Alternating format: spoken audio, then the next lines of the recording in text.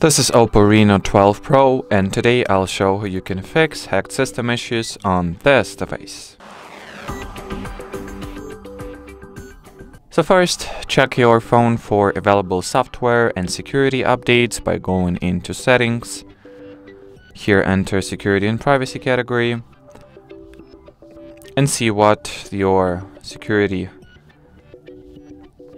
tool thinks of your current device security state, see if it have any suggestions or if it has found anything that compromises your security. In my case, it's only device unlock, but that is not related to viruses, so I do not care at this point.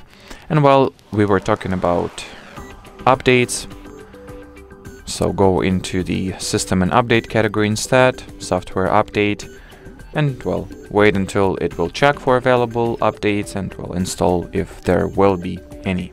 Install them if, if there will be any.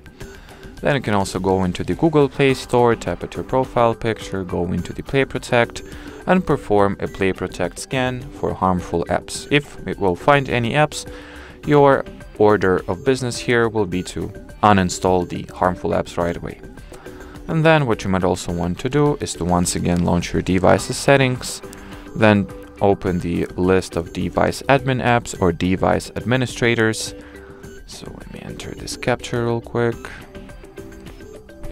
and see if any application has this very sensitive permission that you do not recall providing it with and if you will find such app so restrict or deactivate this access and uninstall the such app right away.